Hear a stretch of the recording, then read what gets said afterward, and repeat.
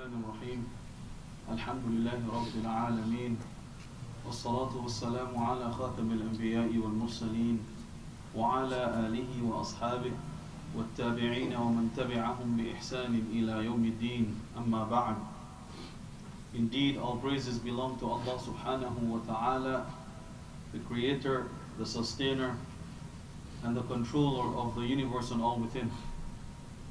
And we invoke His peace and blessings upon His noble messenger, His family, His companions, and all those who follow them in righteousness until the end of time.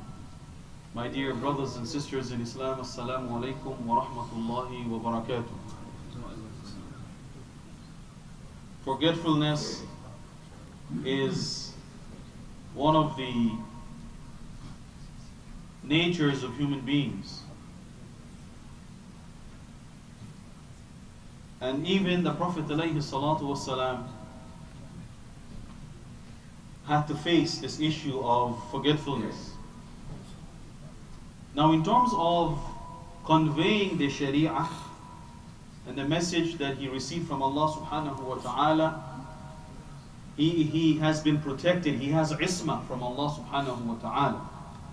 In fact, all the messengers and all the prophets of Allah, in relation to conveyance of the message, explanation of the message, they have protection from Allah subhanahu wa ta'ala.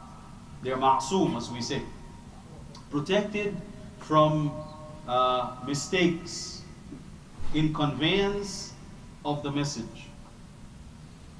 But in other aspects of life, after all, they were human beings. So they were also faced with the similar challenges that other human beings were faced with. And so, forgetting in prayer, for example, you know, how many rak'ah did you pray? This is something that can happen to anybody at any time. Al-Imam al-Bukhari relates this hadith in his Sahih when once the Prophet والسلام, in Salat, Salat al-Dhuhr, he prayed only two rak'ah and he made salam. And some of the people, they were maybe confused or shocked. They left the masjid and they're talking among themselves, you know, that the prayer was the prayer shortened and things like that. But eventually a companion named Dhul Yadain, or the title he was known by is Dhul Yadain, which by the way literally means two hands. But everybody has two hands. But why he was called Dhul Yadain, according to the, the description, his hands were, as we might say, longer than normal. Among what people considered the normal length of hands, his were much longer, so people called him Dhul. He came to the Prophet ﷺ because the Prophet ﷺ, you know, prayed the prayer rak'ah. He didn't realize that. He thought he had prayed four.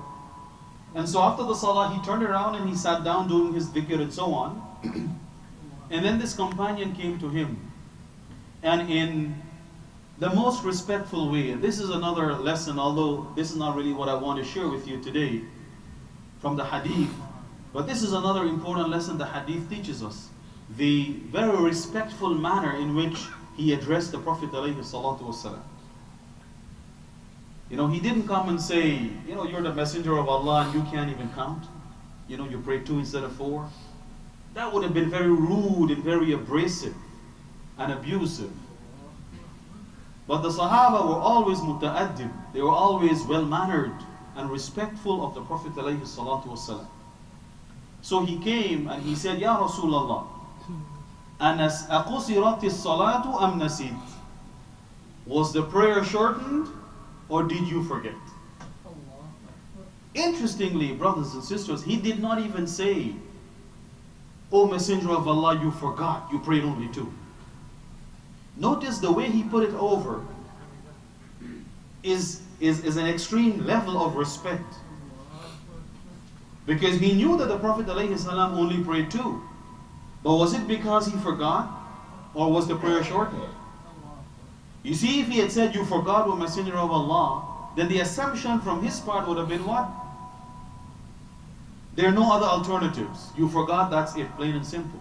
But you see, he understood being the messenger of Allah, the one who's receiving the message from Allah subhanahu wa ta'ala in real time, as we say, he realized that the possibility that there is another explanation is there. Maybe the prayer was shortened. In that case, it's not a fault of the Prophet ﷺ. It would have been, as we might say, his own fault for not having knowledge of this. This is the level of respect, and this is amazing. So he said, O Messenger of Allah, was the prayer shortened? You know, I didn't know that. Or did you forget? The Prophet ﷺ, in his own mind, felt that he did not forget that he had prayed four, for dhuhr. So he said to this Sahabi, لم يكن ذلك. Nothing of the sort happened. The prayer is not shortened, and I did not forget. And the companion again, because he knew something happened, and other Sahabas knew. Some of, or most of them were just too timid per, per, per se to come and raise the issue with the Prophet ﷺ. Still, when the Prophet told him nothing of the sort happened, I didn't forget the prayer was not shortened, which implies what? I prayed four. Despite this, the companion, in, in still a very respectful way, told the Prophet no. He said, بل قد كان بعد ذلك. He said something of the sort happened. Notice he didn't say, no, no, no, no, you forgot, you know. Or I'm sure you forgot, I'm counting, you know, I'm whatever. No. He said, O Messenger of Allah, indeed something of the sort happened.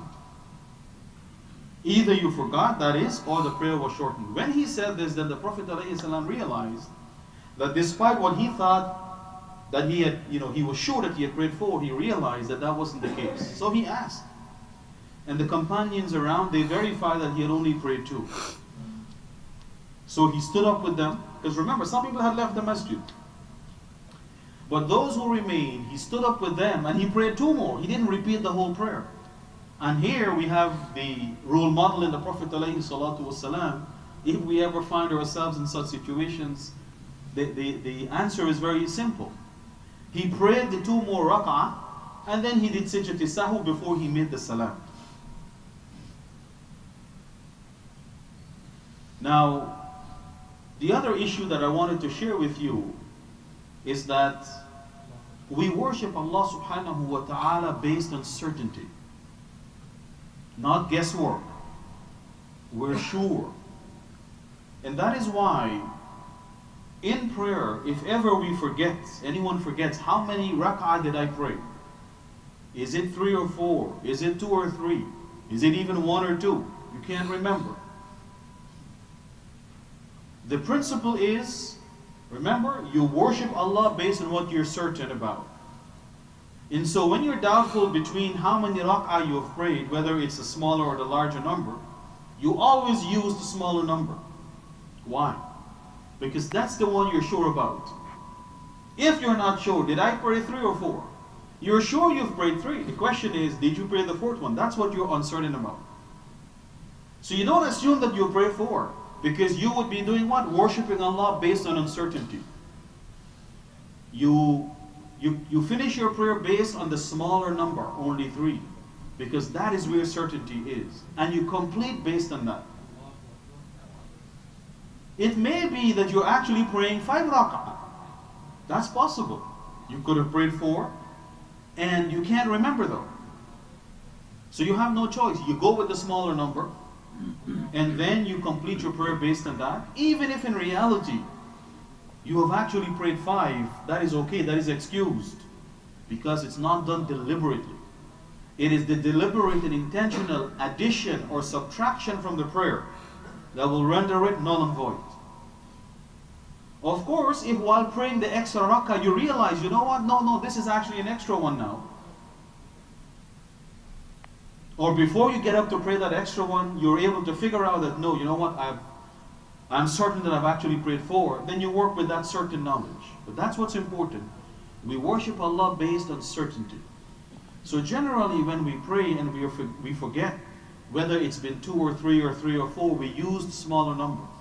Because that's what we're certain about and we complete the prayer based on that.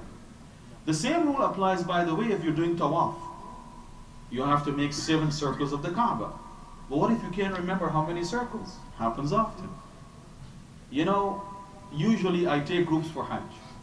And subhanAllah, often I will hear brothers and sisters will come to me and say, you know, I am not sure, but I think I only did six circles of the Kaaba. And I say to them, you know, whenever you are unsure of how many you've done, do as many as you need to do until you're satisfied you've done your seven circles because you're right there. You don't need to come back to the hotel to tell me this, you have to go back to the haram. You're right there. Do the extra one till you're sure that it is seven. Again, of course, deliberate addition or subtraction from what is prescribed will render the whole ibadah null and void. But again, if a person is unsure how many circles of the Kaaba I have done in Tawaf, is it three or four, four or five, five or six, six or seven? You use the smaller number because that's what you're certain about. You're certain about five, you've done five. You're just not sure about the sixth one.